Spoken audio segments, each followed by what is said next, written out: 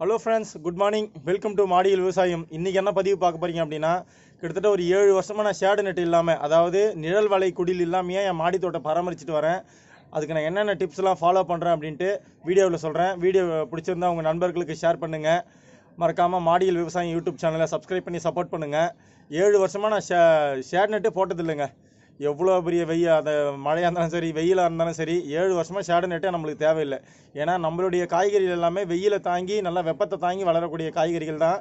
அதனால் அந்த டிப்ஸ் எல்லாத்தையும் சொல்கிறேன் வாங்க வீடியோக்குள்ளே போகலாம்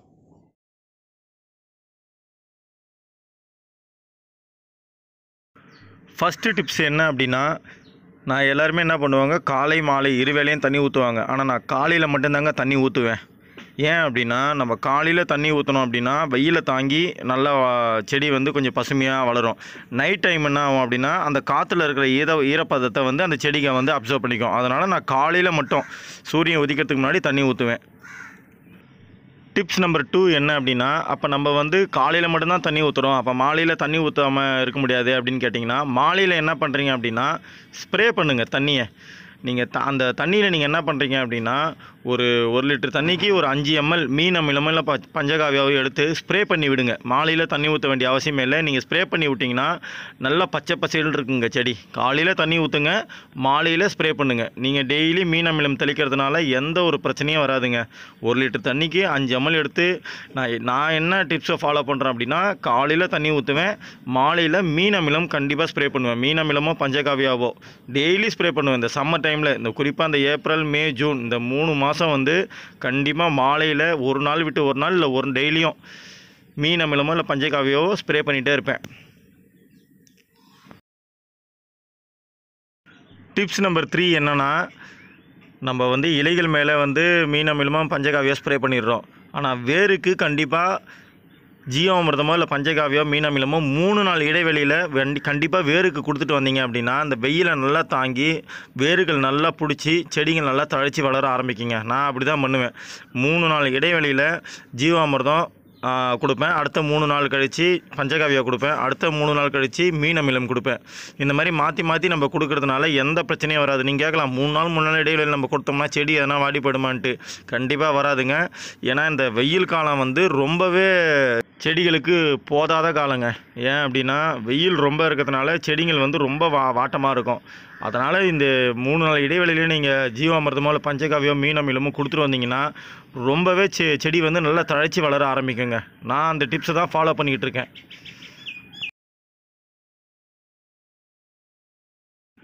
இதுவே ஆடிப்பட்டமாக இருந்தது அப்படின்னா நான் வந்து வாரத்துக்கு ஒரு வாட்டி தான் ம- ஜீவாமிர்தம் மீனமெல்லாம் பஞ்சகாவியாக மாற்றி மாற்றி கொடுப்பேங்க. இதுவே நம்ம இந்த தை பண்ணுறன்றனால வெயில் காலம் ரொம்ப அதிகமாக இருக்குங்க. இந்த தைப்பட்டத்தில் வெயில் அதாவது ஜனவரி மாதம் நம்ம ஆரம்பிக்கும் போது ஜனவரி பிப்ரவரி மார்ச்சுக்கே வெயில் அதிகமாக ஸ்டார்ட் ஆகிடுது ஏப்ரல் மே ஜூன் நீங்கள் சொல்லவே வேணாம். அதனால் வெயிலோட தாக்கம் ரொம்பவே அதிகமாக இருக்கும். அதனால் மூணு நாள் இடைவெளியில் தாராளமாக நீங்கள் கொடுத்துட்டு வரலாங்க. பஞ்சகாவியோ இல்லை மீனமிலமோ இல்லை வந்து ஜீவாமிர்தமோ மூணு நாள் இடைவெளியில் வேருக்கு கண்டிப்பாக கொடுத்துட்டு வாங்க. செடிகளோட வளர்ச்சி நல்லாயிருக்கும்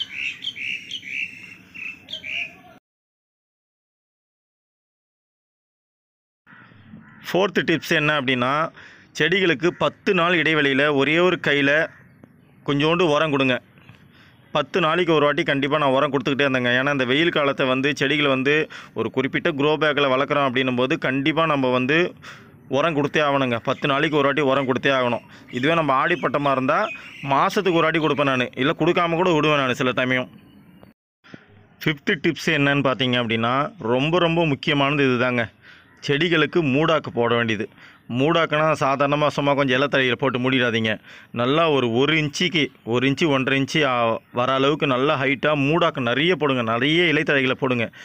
ஏன் நம்ம இந்த இலைத்தழைகளை போடணும் அப்படின்னு கேட்டிங்க அப்படின்னா இப்போ நம்ம வந்து நம்ம க்ரோ பேக்கில் வந்து நுண்ணுயிர்கள் பெருக்கம் இருக்கும். நம்ம ஜீவாமிர்தம் மீனமிலம் பஞ்சகாவியம் அப்படின்னு கொடுக்கும்போது அந்த நுண்ணுயிரிகள் வந்து இறந்து போகாமல் இருக்கிறதுக்கு தான் இந்த மூடாக்கு போடுறது ரொம்ப ரொம்ப அவசியம். ஏன் அப்படின்னா வெயில் வந்து டைரெக்டாக நம்ம வேரில் பட்டுச்சு அப்படின்னா இரு மேலே இருக்கிற நுண்ணுயிர்கள் எல்லாமே இறந்து போயிடும். செடியை வந்து வேரும் காஞ்சி போய் அப்படியே செடி வாட்டமே இல்லாமல் ரொம்ப அழுகி போயிடும் நிலைமைக்கு வந்துடும் செடி. இந்த மூடாக்க போட்டு வச்சிட்டிங்க அப்படின்னா நிழல் இருக்கும். நிழல் இருந்தது அப்படின்னா நுண்ணுயிர்கள் வந்து நல்ல பெருக்கம் அடைஞ்சு நம்ம செடிகளுக்கு தேவையான சத்துக்களை அது கொடுக்க ஆரம்பிக்கும். அதனால் ரொம்பவே முக்கியம் மூடாக்கு போட வேண்டியது. அந்த மூடாக்க போடுங்க. அடுத்ததாக டிப்ஸ் நம்பர் சிக்ஸு இது என்னன்னா செடிகளை வந்து கவாத்து பண்ணுங்கள் முக்கியமாக செடிகளோட பழுத்த இலைகள் இருக்கா அது எல்லாத்தையும் கட் பண்ணி அது மேலே அப்படியே மூடாக்கா போடுங்க. ஏன் அப்படின்னா நம்ம வெயில் காலத்தில் வந்து நியூட்ரிஷன் வந்து செடிகளுக்கு வந்து கிடைக்கணும் அப்படின்னா நம்ம கொடுக்குற சத்துக்கள் எல்லாத்தையுமே இந்த முத்தி போன இலைகள் வந்து எடுத்துக்க ஆரம்பிக்கும். அதனால் இதை நீங்கள் கட் பண்ணிட்டீங்கன்னா இதுக்கு போகிற சத்துக்கள் எல்லாமே நம்ம புதுசாக பூ வைக்கிறதுக்கும் காய் நல்லா பெருசாகிறதுக்கும் அந்த சத்துக்கள் எல்லாமே அதுக்கு போய் சேரும் தண்டுகளுக்கு போய் சேரும். அதனால் முடிஞ்ச அளவுக்கு இந்த இலைகளை கவாத்து செய்யுங்க. அது எந்த செடியாக இருந்தாலும் சரி பழுத்த இலைகளை கவாத்து செஞ்சுக்கிட்டே இருங்க.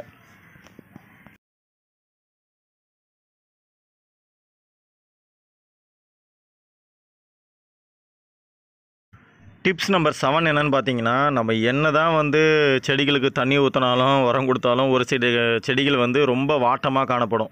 அந்த செடிகளை என்ன பண்ணுறீங்க அப்படின்னா உங்கள் காமன் சவுறு ஓரமாக அதாவது ஒரு ரெண்டு மணிக்கு மேலே வெயில் படாத அந்த செவுத்து ஓரமாக என்ன பண்ணுறீங்க அப்படின்னா அந்த செடிகளை ஷிஃப்ட் பண்ணிவிடுங்க நான் அப்படி தான் பண்ணேன். என்னுடைய தக்காளி செடிலாம் வந்து தண்ணி என்ன தான் ஊற்றினாலும் என்ன தான் ஸ்ப்ரே பண்ணாலும் அப்படியே ஒரு வாட்டமாக இருக்கிற மாதிரி தெரிஞ்சுது. நான் என்ன பண்ணேன்னா ஒரு பலகை எடுத்து ரெண்டு செங்கல் வச்சு என்னுடைய தக்காளி செடிகள் எல்லாத்தையுமே அந்த செவுத்து உரமாக மாற்றிட்டேன் அப்போ என்ன ஆகும் அப்படின்னா ஒரு ரெண்டு மணிக்கு மேலே வந்து அந்த வெயில் வந்து அந்த படாது அந்த செடிகள் மேலே. அது கொஞ்சம் சேஃபாக நல்லா ஒரு ஃப்ரெஷ்ஷாக வளர ஆரம்பிச்சது. என் தக்காளி செடி எடுத்து நான் செவத்து உரமாக மாற்றிட்டேன் நீங்களும் அந்த மாதிரி எதனா உங்கள் செடி வாட்டமாக இருந்தது அப்படின்னா இந்த செவுத்து உரமாக மாற்றிடுங்க